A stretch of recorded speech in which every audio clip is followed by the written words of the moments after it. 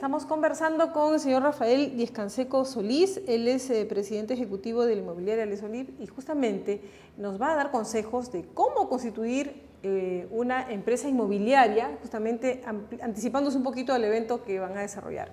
Bueno, la constitución de una empresa inmobiliaria no es complicado, la parte legal es como cualquier otra empresa, no hay requerimiento de capital mínimo, no hay requerimiento de, registros en ningún, en ningún municipio o lo que es este ministerio para formar la empresa. O sea, una empresa de estas Como cualquier otra empresa. En cinco días, sencillamente, tres que, días. sencillamente que el giro de negocio diga que es una empresa inmobiliaria que hace compra, venta, construcción de apartamentos. Perfecto, ya la tenemos.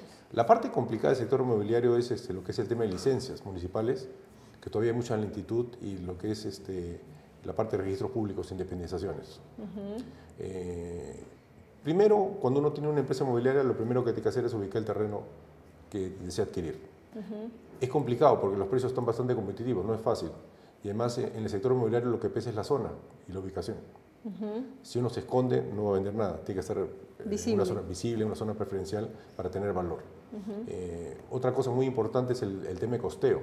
Uno tiene que costear muy bien lo que va a seguir la construcción, eh, cuánto salir el terreno, cuánto salir eh, lo que es este, la construcción per se, el casco, acabados, gastos generales, gastos financieros, etcétera, toda una, matriz de, que, hay que, hacer. Porque si uno lo hace mal, pierde un montón de plata.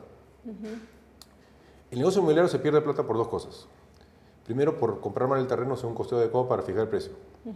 Segundo, porque el, precio, el, precio cuadrado de metro de construcción no ha sido bien calculado. Después, eh, lo que más se pierde en construcción es el postventa. Si uno hizo una mala construcción, hizo malos acabados, eh, tiene uno garantía. Cuando uno construye, eh, legalmente tiene una garantía de un año para lo que es acabados y cinco años para lo que es estructuras. Entonces, si en los acabados fallan en un año, se rompe el caño, el porcelanato se raja, el, water se rompe, uno tiene que cambiarlo. Y eso cuesta un montón de dinero si uno no tiene controlado los acabados. Y otra cosa que cuesta mucho dinero y ya puede ser fatal para una constructora es que se raje la estructura del edificio porque uno tiene que reemplazar el edificio en cinco años, legalmente. Entonces hay que tener mucho cuidado. No, uno puede hacer plata, pero perderla toda también en postventa. Ah, eso es un, riesgo muy grande, así ¿no? Es, así es. Efectivamente, y por eso usted habla de trabajar con una buena eh, constructora, ¿no? Con una constructora de prestigio. Yo creo que por la experiencia que tengo de muchos años en el sector construcción, si yo quisiera empezar un negocio de construcción de cero, y no fuera una constructora, lo mejor es contratar, contratar una constructora con experiencia que le dé la garantía adecuada que va a entregar y va a cumplir con la postventa y la, y la estructura, ¿no? Porque uno traslada el riesgo hacia el constructor. Y para eso hay que trabajar con un constructor de prestigio. Muchas personas se meten en el negocio este y compran el terreno y para ahorrarse costos dicen voy a contratar un maestrito de obra y voy a traer los obreros y voy a hacer todo. No voy a pagar impuestos en planilla, pero voy a hacerlo bajo costo. Pero no se imaginan el problema que se están metiendo.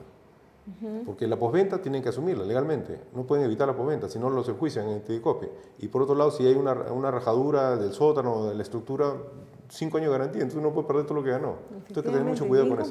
Sí, sí, hay que tener mucho cuidado. No es, un negocio en el que se puede ganar mucho dinero, pero también se puede perder. Es, es un negocio que se puede ganar mucho dinero en el papel, pero, perderlo rápidamente en posventa y en garantías. Así es, efectivamente. Y bueno, y en el caso de la venta misma, eh, se da mucho la venta en planos, y, ¿no es cierto? Eh, ¿Qué tanto es eso en planos?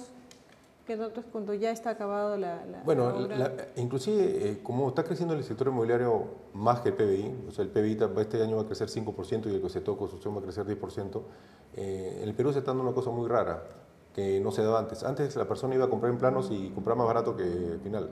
Ahora el precio final está casi igual que el de planos se ha eliminado esa diferencia por la demanda tan grande que Yo diría que queda un 10% de diferencia, no más. No más. Antes uno podía ganar 30, 30 hasta 40% por planos, pero ahora ya no. Ahora uno un 10%. ¿Por qué? Porque la constructora siente que hay tal sobredemanda de, de, departamentos de calidad, porque también hay los de no calidad, y entonces la diferencia de precios no, no es muy mucha.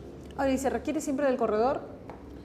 Eh, yo diría que del total de ventas de un departamento, más o menos 50% por venta directa, 50% es por corredor, si uno quiere manejar la venta directa. Pero si yo hiciera una empresa inmobiliaria y no quisiera tener un dolor de cabeza, yo lo quería tercerizar todo, en mi primera experiencia. Tercerizaría ventas en un corredor inmobiliario de prestigio, tercerizaría la construcción de un, de un constructor de prestigio, tercerizaría la contabilidad, tercerizaría, tercerizaría lo que es la parte legal, tendría una persona de calidad que traje conmigo para que supervise a los demás y eso lo haría. Claro, porque esa primera experiencia tiene que es mi carta de presentación hacia, el, hacia los clientes. Hacia los clientes, ¿no es cierto? Pero lo que pasa normalmente en el Perú es que todos quieren hacerlo todo. Contratan un contador baratito, contratan un abogado baratito, contratan a, un maestro de obra baratito y la gente. Contratan, este, quieren hacer la venta directa y al final lo que se terminan haciendo es un hoyo negro, un problema grande. Ahora, cuéntanos un poco del evento. Que bueno, ¿Qué se este va a dictar? ¿Qué se va a enseñar? Todo este tema de formación de empresas que les estoy explicando eh, lo vamos a explicar en un seminario que estamos haciendo el 5 de julio con mi socio José Carlos Sánchez, que está metido en el sector agroindustrial. Entonces, ambos tenemos mucha experiencia en lo que es formación de empresas. Yo, por ejemplo, fui eh, fundador de la FP Roble. Hace 20 años hice la FP Roble y después la vendimos a Profuturo. He hecho playas, también he hecho playa Canarias y Tres Islas en Puerto Viejo. O sea, tengo mucha experiencia en el sector inmobiliario y formación de empresas. Mi socio también. Entonces, lo que queremos es eh, básicamente enseñar a los emprendedores a cómo formar empresas top desde cero. Y top digo porque es difícil formar una empresa top, pero la visión es lo que guía la empresa y eso es lo que queremos romper paradigmas a la gente y para eso vamos a hacer este seminario.